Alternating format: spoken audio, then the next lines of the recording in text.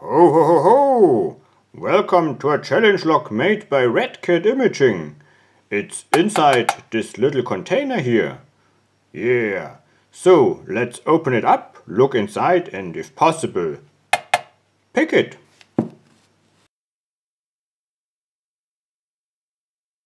Oh yeah, that's nice.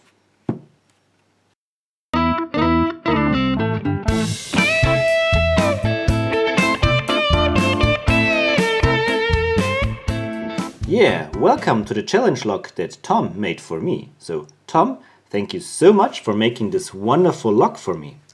By the way, he goes uh, at, under Red Cat Imaging on YouTube, so don't miss to check him out. Yeah, that's the that's the lock. You can see the, the set screws here. It's an ABUS 64 TI-50, very lightweight. Um, and here you can see um, his logo that he engraved very, very nice. Yeah, beautiful themed keys. Lock works absolutely wonderful, no problem at all. The bidding is quite good, so ups and downs next to each other, very good. Last pin is a, a short key pin, that's a very good bidding.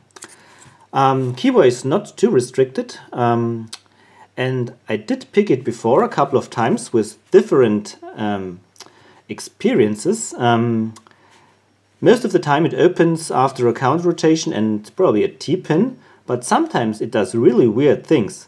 So sometimes it drops into an extremely deep false set, and I thought I already have it open, but um, no, it's a very deep false set, and it's very hard to recover from that. So let's give it a try and see what it does now on camera.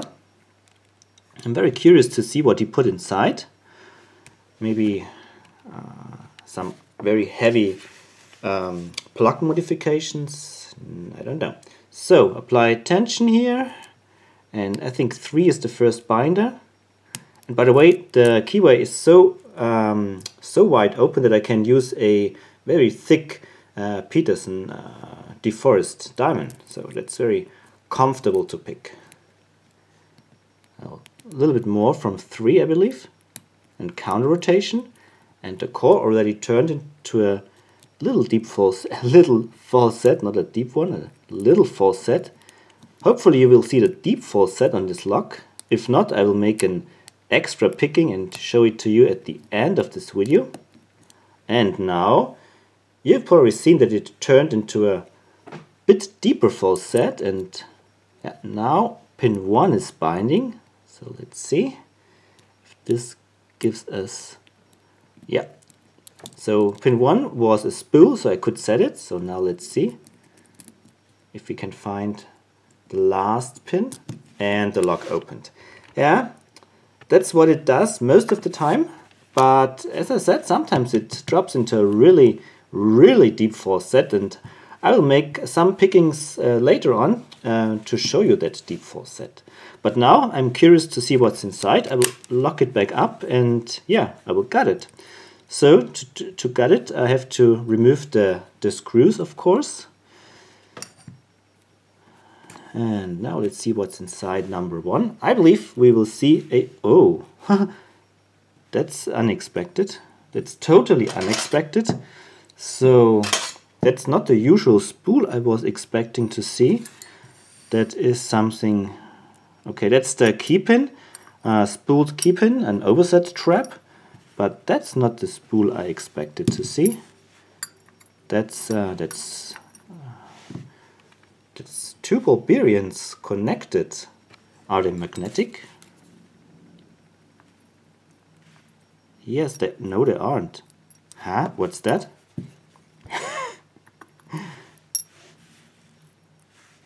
So they are they are connected with a wire. Oops. That's very interesting. Never seen that before.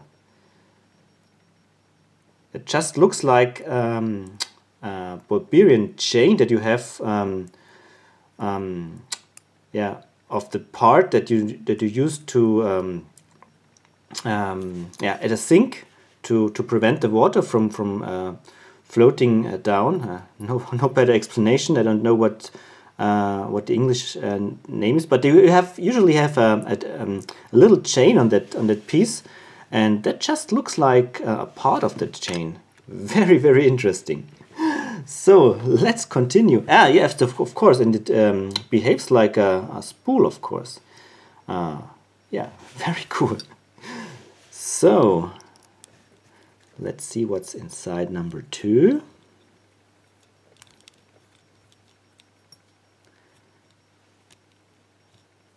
So from what I, what I felt, I would say nothing special. But maybe I'm wrong. Oh, there is something special. Oh, that's a pin in pin. Wow, and here we've got a very interesting looking key pin. Spooled key pin with a, a serrated part towards the shear line. Very nice. And here we've got something very interesting. We've got a pin in pin. Wow, that's a great work. I put it in the tray and we will look at it later on in detail. So, wow, that's a great lock. You, Tom must have put a lot of work into that. Here we've got, oops, you can't see that, sorry. We've got a spooled key pin with a taper and that's awesome. That's a um, that's a pin with a with a floating wafer in the middle. Wow. Tom, that's a fantastic lock. Awesome. Continue. And I will uh, pull out the plug later on, see if there are any modifications. So what, oh, can't see that. So what do we have here? We've got a serrated key pin and a upside down key pin with serrations and a, a spoolish part. And now the last.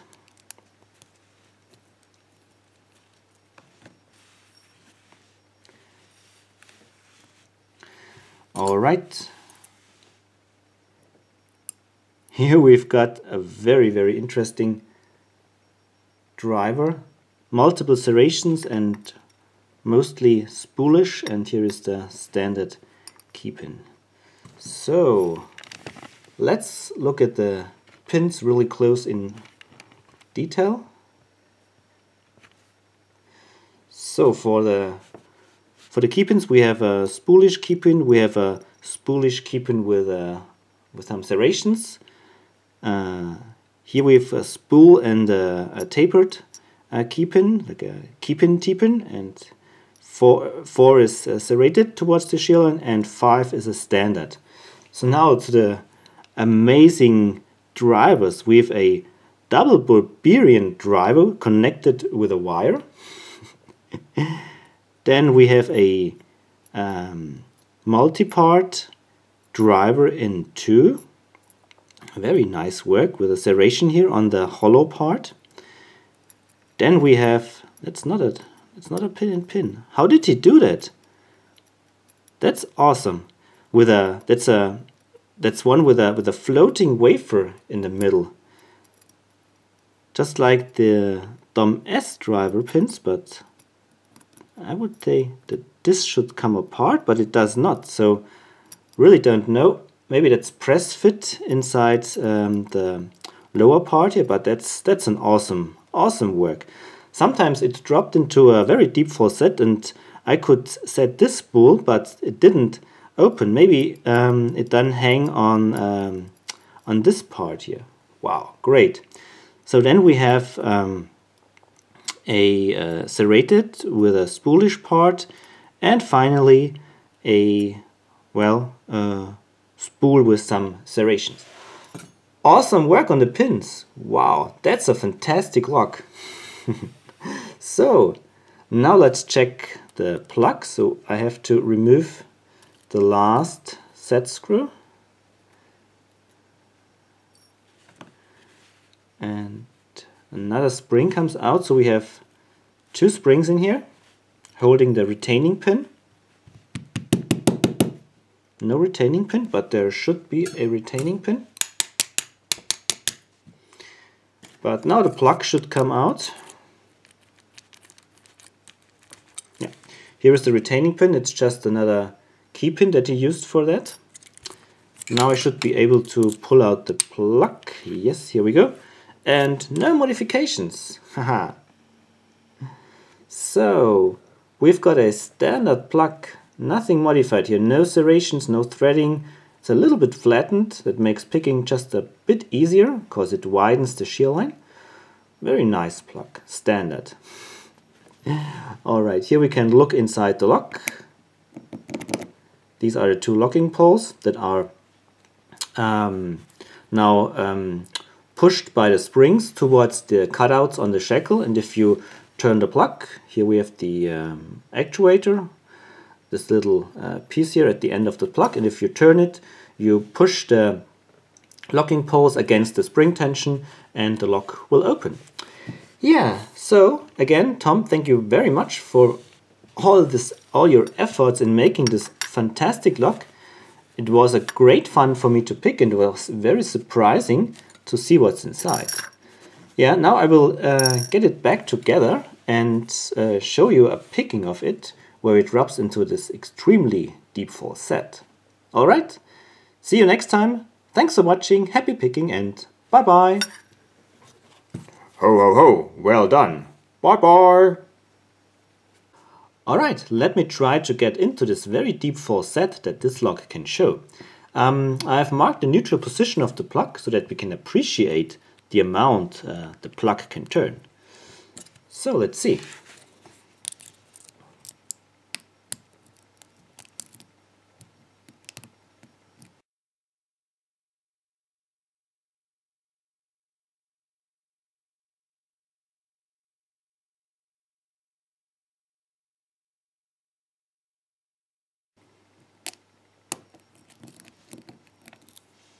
Okay, here we go. So that's the falset I was talking about. Isn't that enormous? so let's see if we can release it from that falset. So pin 1 doesn't really want to go up. Um, I have to let the plug return by itself and still no feedback yet from 1. So now, now I get feedback. And, okay, 1 is set but no opening and now it opens. So that's the cool false falset that this lock can show because of the Bulberian. Alright, cheers and bye bye. Bye bye.